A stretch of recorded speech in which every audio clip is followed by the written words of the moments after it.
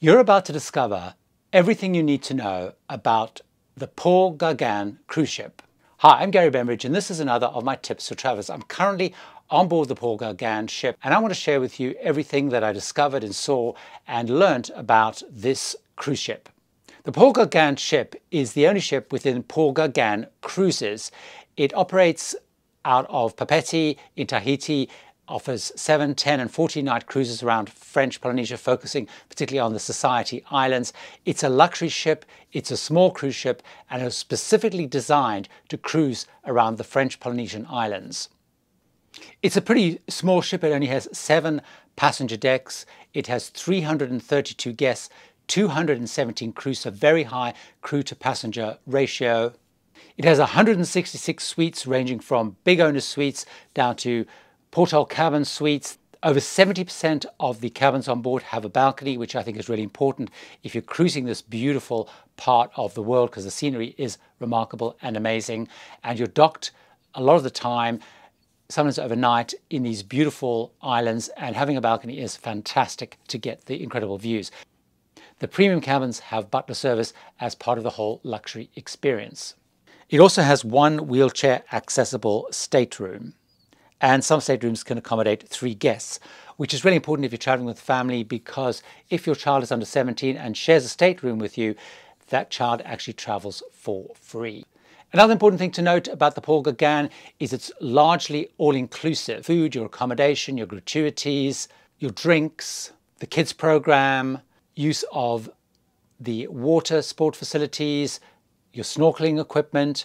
The only extras on board are excursions, Wi-Fi, and of course if you do things like send stuff to the laundry, use the medical center, go to the spa, or buy things in the shop. Let's take a deeper look at the facilities on board, starting with dining. There are three key dining venues on board, so a lot of choice considering it's a small ship. All of the dining venues are open-seated dining and they're all included within the fare. The main dining room, which is only open in the evenings, which is L'Etoile, it's a fabulous space. I really like it. And the great thing about the menu in there is if you're vegetarian or vegan like me, you have a special section which is vegetarian and most of those options are vegan so that's great but a huge menu lots of choice very good quality food with the two alternative dining venues they both operate as a buffet breakfast and a buffet lunch. And in the evening, they become specialty dining. The first of those is La Veranda. They have a great breakfast spread in here, a great lunch spread, and there'll often be different themes by day, so Greek, Polynesian. In the evening, La Veranda, it really turns into a sort of a French cuisine focused dining where it has one part of the menu, which is sort of like a tasting menu, and then it has an a la carte menu. The other is Le Grill, which is actually hugely popular because it's up on the pool deck and largely open, so very, very popular, as you can imagine, cruising through the region, great views. Breakfast and lunch is buffet. It serves afternoon tea in here, and as the name would suggest, in the evening it becomes a more grill-based venue, so grilled fish, grilled meat. Those two you just have to make reservations for, La Veranda and Le Grill. There is also a 24 hour room service menu with a pretty big choice, which you can also order on the interactive television. So what other facilities are there on board? Well, first of all, let's take a look at lounges and bars. One of the most popular is the piano bar and linked to that is the casino. This is really popular for before dinner drinks and also after dinner drinks. They have a pianist playing in here at certain hours, as of course the name would suggest. And as I mentioned, you have a small casino with a roulette table, a blackjack table, and a room with a number of machines. The other really popular venue and bar is known as La Palette. Here they actually have an early riser and healthy options breakfast. It's up on deck eight so at the rear of the ship, so it has great views. It's a very popular place, particularly at sail out time. And again, in the evenings, they have things like karaoke and a band playing in here. Out on the pool deck, there's a beautiful pool and lots of space to sit. And there's also a bar up there. In terms of activities, I already mentioned that you have the pool. There's a huge, big sun deck area. There's often organized activities out there. If you walk around it 20 times, you do a mile. There's also a fitness center. It's a small fitness center being a small ship, but certainly has a good range of cardio and weights. There's a spa as well, which does the usual things, hairdressing and various spa treatments.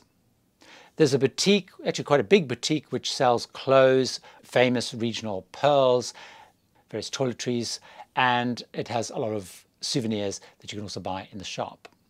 There's actually a very small library which has books in different languages, French, Dutch, English.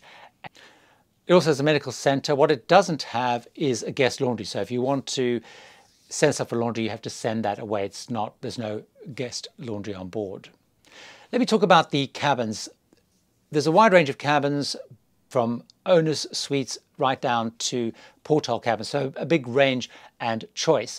The main type of cabin though are balcony cabins. So I was cruising in a balcony cabin. I was in cabin number 714. It's a good sized room. It has a really comfortable bed, which is actually a queen sized bed. A lot of the cabins actually have queen sized beds rather than twin beds. You have you have a very nice balcony. You have a good bathroom actually, which has a bath, so a shower in bath. And then one of the new innovations it has is an interactive TV. Now on the interactive TV, you can do things like watch movies on demand, you can order room service, you can also watch various things about the different ports, and you can actually book your various excursions through the television. So the balcony cabin really great. I really like my cabin. There are actually eight different grades of cabins. You've got two owner suites, you've got a grand suite, you've got two different grades of veranda suites, two grades of balcony staterooms, and then window and porthole staterooms. So what about entertainment on board the Paul Gauguin? Now most of the entertainment is focused around what is known as the Les Gauguins they are a troupe of Tahitian ambassadors and entertainers, and they actually run most of the entertainment and the activities on board. And that could range everything from some dance classes, it could be water aerobics, they can also do craft demonstrations, and they also do a number of song and dance shows, really, of course, focused very much on the traditional French Polynesian music and dance. But they will be around the ship at all times. They will pop up at meals, sometimes singing songs, wishing people happy birthday, and they will also be key hosts at things like on the private beach in Bora Bora or the private island Motu Mahana. They play a key part there. So they are the real heart and soul of the entertainment on board, of course, bringing the whole French Polynesian experience to life.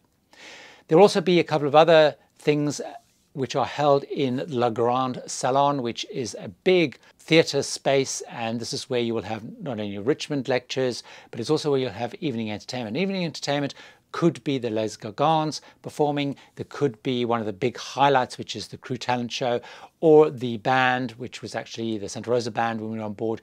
They would perform some tribute shows. So relatively low-key entertainment, they do also bring on local entertainers. So one of the big things that normally happens on a cruise, you have a big Polynesian evening one night and they'll bring on board local entertainers, musicians and dancers. Most of the entertainment is relatively low key. So there'll be a band on board, there's a pianist on board. So a lot of it is around socializing and mixing. So you don't have big production shows, you don't have big guest entertainers.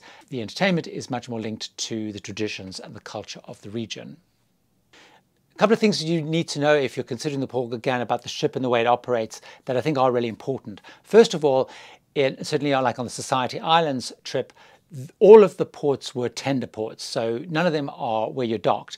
And so that means you need to be relatively active and comfortable getting on and off the tenders. Now, because most of those are within lagoons, it's very calm, so you don't have the big swell, so it's relatively easy to get on and off. The dress code on board is pretty informal, and in the evenings, all you're asked to do is follow a sort of a smart, casual or country club casual look, which for gentlemen means collared shirts are asked for. They don't have to be long sleeve, but certainly collared shirts, slacks rather than jeans. But certainly you can't wear scruffy jeans. You can probably get away with a pair of smart dark jeans. And equivalent, of course, for ladies. So relatively informal dressed code. The onboard currency is the US dollar. And in terms of plugs, it has both US style plugs and wattage and European style plugs and wattage. So you don't necessarily have to bring adapters, but it's a good idea if you want to make, take advantage of all of the different plugs on board. In terms of on-board language, it's both English and French. So announcements will be made in English, followed up by French. All the documentation is available in either English or French, or in some cases, multilingual. So very much it's an English and French operation. Paul it's a small ship, it's a luxurious ship, it's very much designed, the ship is designed specifically to operate in French Polynesia. If you want to find out much more about the region, I have lots of other videos, so why don't you go and watch one of those videos right now and discover more about Paul Gauguin and the French Polynesian region.